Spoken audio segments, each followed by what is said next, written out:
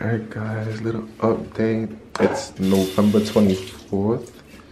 We're going in for her first, well her first checkup. She's gonna talk for the first time today since her surgery. So this, the last seven days, she's not been able to say a word. So I know it's kind of, it's been kind of stressful on her. Like, you know, she's a happy person. She likes to talk.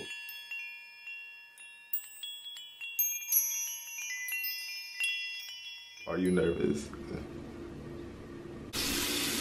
Alright guys, well this week flew by. Her surgery felt like it was yesterday and I'm not gonna lie, she's been a little up and down about it. Some days are better than others. She's been sad some days. Some days she's smiling like there's no tomorrow. But you know she's one of the strongest women out here. She got this. Of course.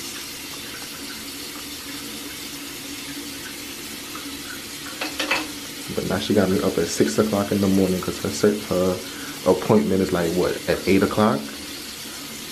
Mm -hmm.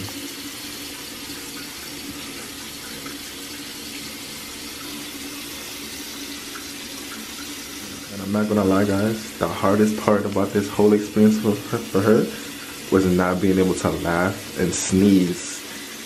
You have no idea how hard it is not to laugh when you can't laugh. Like. just being around our family and stuff like that, it's like every five seconds somebody's cracking a joke, somebody's saying something to get a laugh out of you. And even like sneezing, like there were like four times where she almost sneezed. And we had to like cover her nose so quick because that, yeah, we don't want her to sneeze and possibly pop a stitch or anything like that. And that's the reason we're going in today is to make sure all her stitches are still good, making sure that nothing, we don't have to go back and get anything redone, double checked.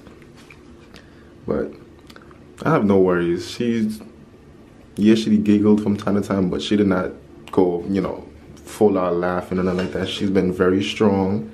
She's been very determined, but, you know, not talking, like the main thing she loves to do, because, you know, she likes to always talk, give a smile, talk to everybody. Not talking for her is kind of like taking away one of her senses. So she got little sad here and there, you know.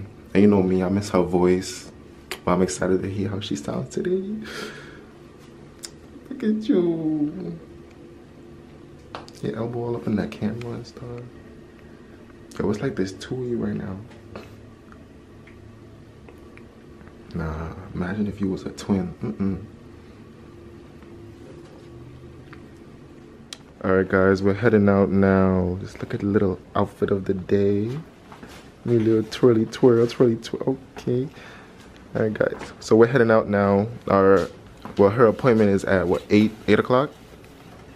8.30 but it's better if we get there around 8 o'clock you know get get it done sooner leave quicker get all the good news positive vibes only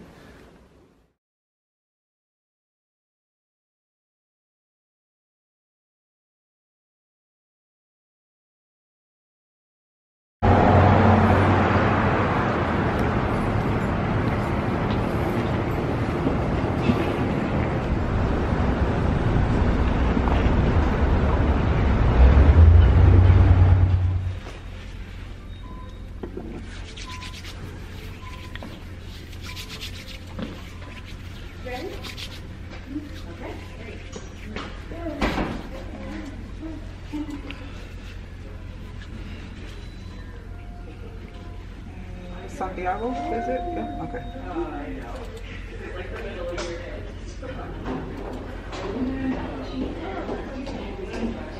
Any COVID symptoms? I have to ask. Any travel? okay. Need your signature here. Set, okay? You guys can have a seat in the waiting room when you're done there. Thank you. You're welcome.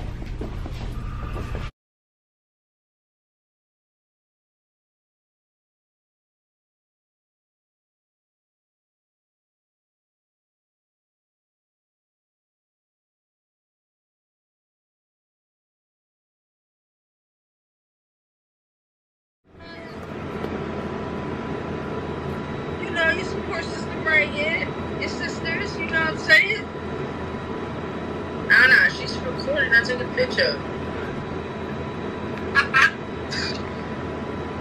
Sometimes I don't know how we related, just by glasses, not the brains. Why don't you try fluttering your lips? Yeah. Do that another couple times, okay? That's okay. Just a couple times is fine.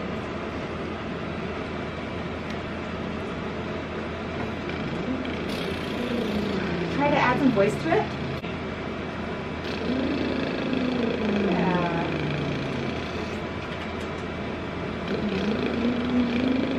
Good, very good.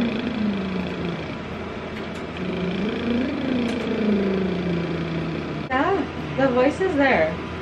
It's there. So can you go one? Oh, beautiful. That was so good. Go right into it. One, two. One, two, Yeah. one, two. So what happens on the two is you're pulling your tongue way back into your throat and then it cuts it out. So if you leave your tongue forward, keep that tongue right there. One, two. Close. Try again. Uh, one, two. Better. The blue spot is on the key again. Mm-hmm. The second. How hard did it hit him? We were away in Europe. He eat eggs every Easter. Mama will make them in my Peter. Peter. Peter keep at the peak. E. E. Ah. Oh, that was weird.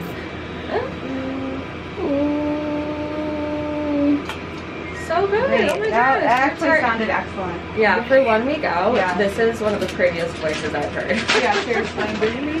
Yeah, this is. I know it's cutting in and out right now, but when it does come on, it is gorgeous.